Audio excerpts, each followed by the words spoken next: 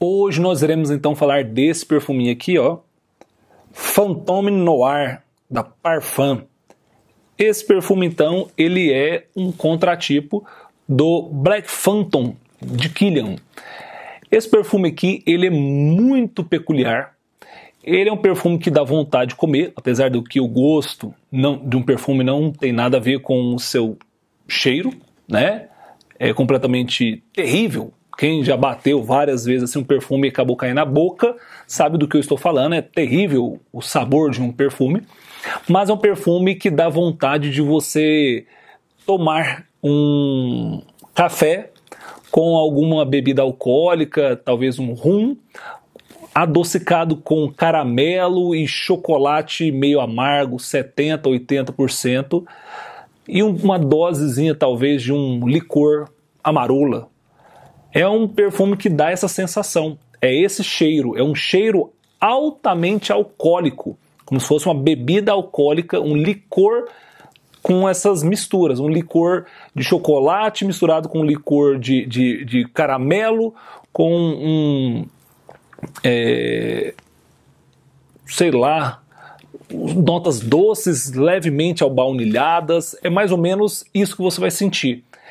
É uma fragrância que vai servir para pessoas que gostam mais dessa pegada gourmand. Ainda não tive a oportunidade de utilizar em um certo momento específico, né?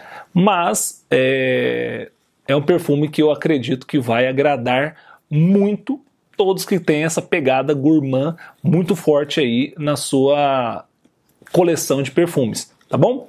Então, vou bater esse perfume aqui nas costas da mão para sentir, ó. É um decante aqui da Guido Decante, tá? Gente, vontade de verdade de estar num dia frio tomando um chocolate quente. Você vai sentir muito bem esse chocolate meio amargo, com um, o dulçor só vem lá de um caramelo, um leve caramelo, não é um caramelo muito forte, mas ele está bem presente aqui. E essa nota de bebida alcoólica e misturado com um pouco de café. É um perfume, gente, que para mim ele é completamente compartilhável. Você não vê aqui qual sexo? Ah, se é para masculino ou feminino. Não, não tem sexo esse perfume, tá? Que delícia, gente.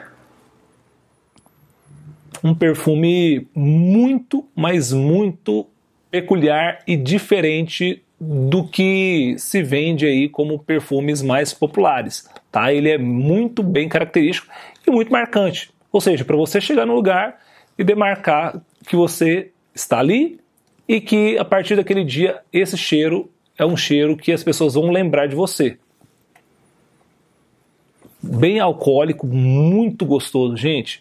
Se você entrar aqui no site da Parfum, ele traz assim, ó, é um perfume gourmand, um, boozy, ou seja, alcoólico, totalmente unissex, realmente. Presença marcante do chocolate, caramelo, rum e café. Isso, é o que eu sinto aqui, ó, praticamente isso. Dominando a, o perfume. Então, diferenciado, sexy, marcante. Se você gosta de perfume gourmand com um toque de bebida alcoólica, vai se apaixonar por essa fragrância. Sim, tá? Mesmo se você não gosta dessas, pelo menos você ficar sentindo, dá vontade de você ficar. É um perfume narcótico, viciante, deixa as pessoas viciantes. Então, se você for às vezes no encontro a dois e passar e você sabe que o seu parceiro gosta uh, desse cheiro, né, a pessoa vai grudar no seu pescoço, vai querer te morder, o tanto que ele é gostoso. Tá? É, é o perfume óbvio que para dias frios ou ambientes bem climatizados, pessoas aí de 18 anos para frente conseguem utilizar esse perfume.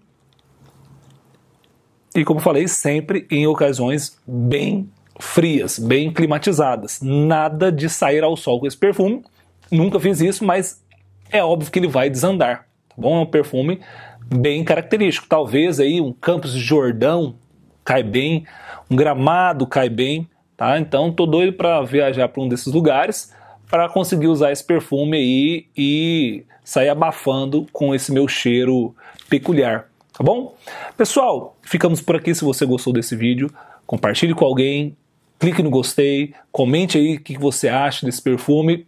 Uh, se inscreva no canal e clique no sininho para receber as notificações dos próximos vídeos. Um forte abraço para você, até mais e tchau, tchau.